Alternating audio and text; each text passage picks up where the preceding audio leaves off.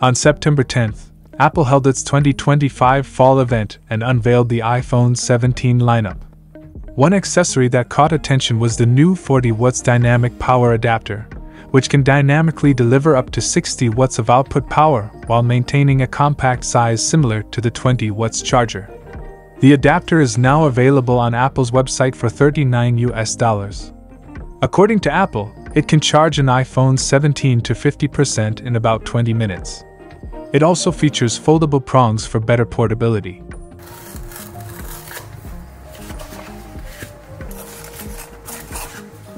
The package includes the charger and user documentation. The charger is wrapped in protective paper. Its design is similar to the 35 watts dual USB C charger, with a smooth surface and rounded corners. The small recessed areas on both sides of the body facilitate easy plugging and unplugging. The USB C port has a white plastic sheet. The bottom is printed with specifications. Model A3365. Input 100 to 240 volts 50 or 60 Hz 1.5 amps. Output 15 to 20 volts 2 amps or 9 to 15 volts 2.67 amps or 9 volts 3 amps or 5 volts 3 amps. Maximum total output power 60 watts LPS. The charger has passed CCC certification and level 6 energy efficiency certification. It features foldable prongs, the length of the charger is about 45.62 millimeters. The width is about 45.27 millimeters.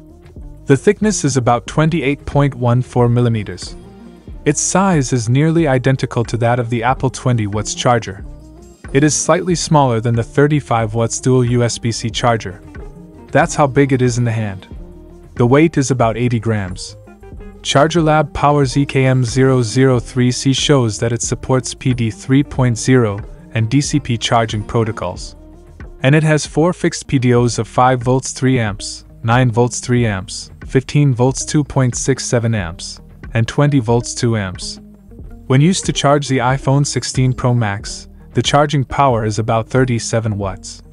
When charging the MacBook Air M3 2024, the charging power is about 55 watts, successfully activating the 60 watts dynamic fast charging feature.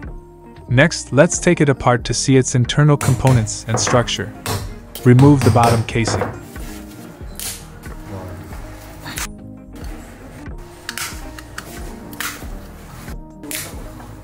The casing is secured with snap-fit clips and ultrasonic welding. The input side features a contact-based power delivery design, the inner side of the casing is lined with a graphite thermal pad and has been treated for insulation. Remove the PCBA module.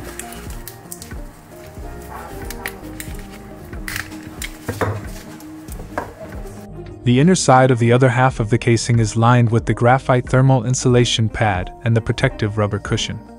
The length of the PCBA module is about 41.25 millimeters.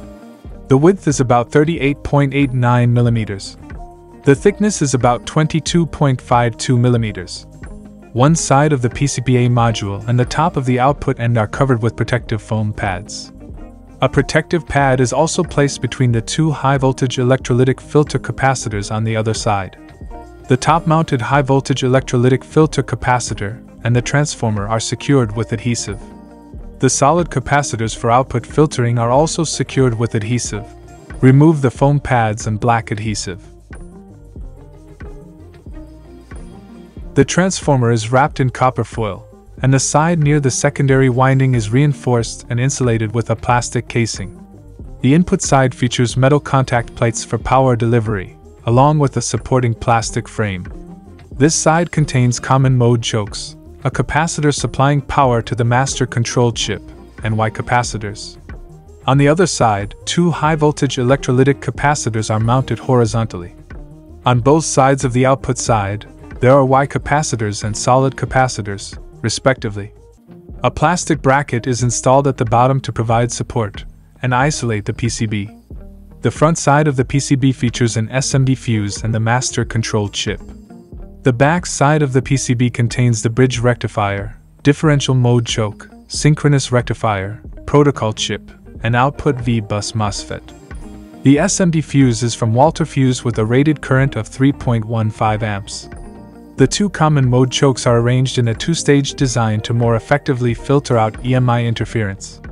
The safety X2 capacitor is wrapped with copper foil for shielding. It has a specification of 0.1 microfarad. The input side bridge rectifier is from Diodes and uses a TTL package. The high voltage filter capacitors are from NCC, each rated at 400 volts 47 microfarad, connected in parallel. The differential mode choke has a specification of 13 microhenry. The master control chip is from PI, a custom model for Apple. It integrates the primary controller, high voltage MOSFET, synchronous rectifier controller, and feedback functions. It uses an InSOPT 28D package. The capacitor supplying power to the master control chip is from Lelon. 50 volts, 22 microfarad. The transformer is manufactured by Sumida. Close up of three black Y capacitors. The synchronous rectifier is from Rectron and is an N-channel MOSFET with a 100 volts rating and 4.6 milliohm resistance, housed in a DFN 5x6-8L package.